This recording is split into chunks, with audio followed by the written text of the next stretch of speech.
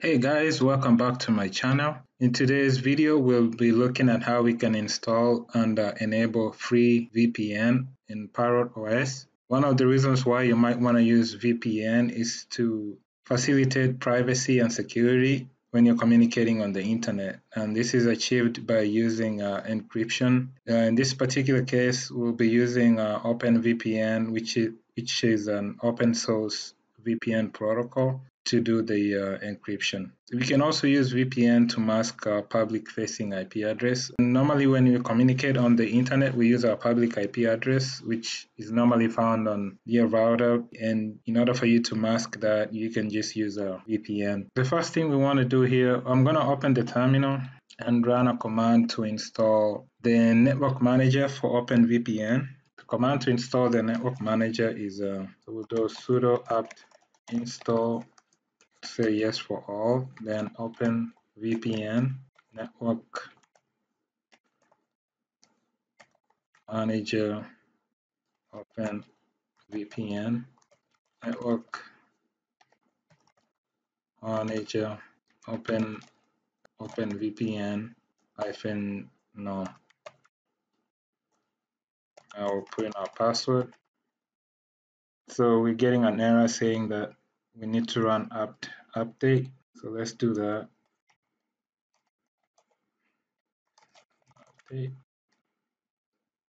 So let's update the packages and then we'll rerun that command to install the network manager for OpenVPN.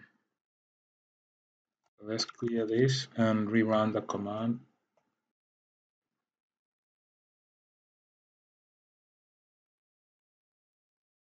Okay, looks like we didn't get any errors this time, so that should have installed it for us. Now the next thing we'll need to do is we need to navigate to the website, uh, vpnbook.com, and download the configuration file for VPNbook. So I'm going to open Google Chrome.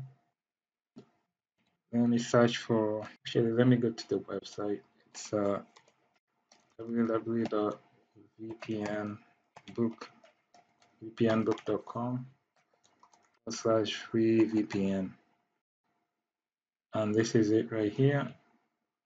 So what we want we want to install one of these bundles. So these are the uh, configuration and certificate bundles that are available. So you just have to pick one of these to download. I'm gonna go with the US one. Close. Looks like it's done. Now let me check the downloads folder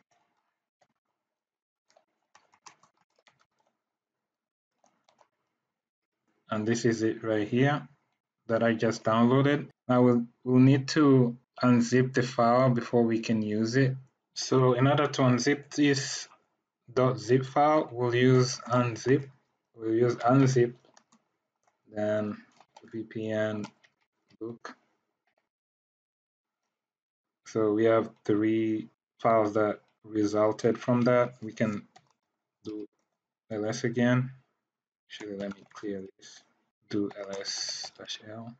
And these are the four files we got from the uh, .zip file. So the next thing we need to do now is to import the OpenVPN uh, profile bundles. And in order for us to do that, we'll need to go to this network icon here, click on it, then go to VPN connections and then add a VPN connection. Then from here, we'll click on this down arrow and scroll all the way to the bottom. And import a saved VPN configuration and click on create. And then we have to navigate to where we have the downloads. And then you have to select one of these. I'm gonna go with the, the first one. So click it to open it. And here you can give your connection a name. I'm gonna leave the default here and then the uh, the gateway just leave this as default. However you'll need a username and password. Now we'll need to get the username and password. So we have to go back to VPN book site where we downloaded those uh, configuration files to get that information. So if you go back here if we go to this site and you go to VPN book and scroll down and here where it says open VPN click on that tab and the username we need is this one right here, VPN book. and this password 33u so let's minimize this and minimize this. So the username is vpn book. The password was uh, 33u i believe. And you can just copy and verify that you have the right password before you paste it uh, let's go back to the site again so 33U ITNE. 33U ITNE. So the password is right here 33U ITNE. And this password does change. So if you're trying to access, if you're trying to enable your VPN and you have issues, you might have to come back to the site to see if they've changed the password. So now that we have the password, you can just copy it and then paste it in here and normally everything else you can leave as default certificates and the key. Yeah everything else just leave as default and then click on save. Now once you've saved it let me minimize this. If you go back to the network connections here your ethernet network connection and you go to VPN connections you see now that that VPN we added is listed here. Before we enable it let's go to the terminal and see. Open the terminal. Open a new window. And then we'll check our IP address. So right now we're only seeing two interfaces. Once we enable the VPN we should have a third interface which is going to represent our VPN tunnel between us and the VPN server that enables us to encrypt traffic. Let's go ahead and uh, go back here and VPN connections and check this and it's spinning. Now we get a message saying VPN connection has, has been successfully established. Let's check this again. And like I said, we have a third interface, which is tunnel 3, which now is a, a VPN tunnel. address. And this is the tunnel I was talking about.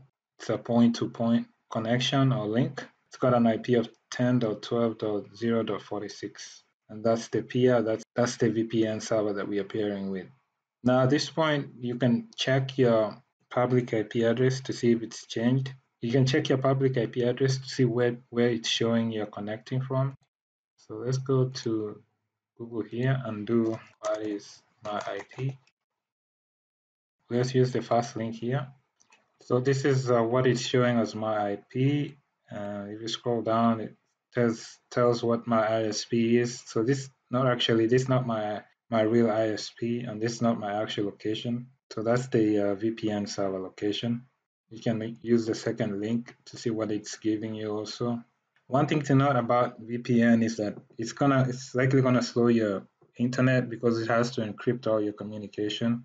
And that takes a while to encrypt and and then decrypt all that communication Again, this one is giving the ISP information, the city, and the region, the country.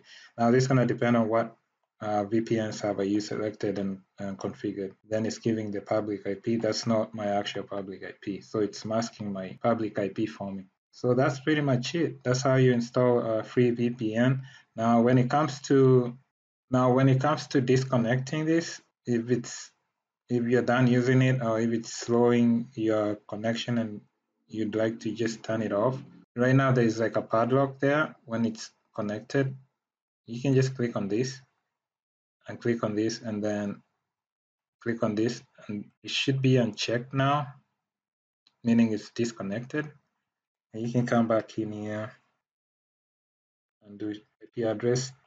And this time that third interface is no longer there because the, the tunnel has been removed. Last thing I wanted to cover was if you needed to make changes to the to the VPN setting, just go back to the uh, internet icon, the network icon right here, go to VPN connections, configure VPN, and here you should have your VPN that you configured listed. Just click on it, go to settings, and here you can if you needed to change the password, this is where you change it. That's all for this video. I hope this has been uh, helpful. I'll catch you in my next video. Thanks. Bye.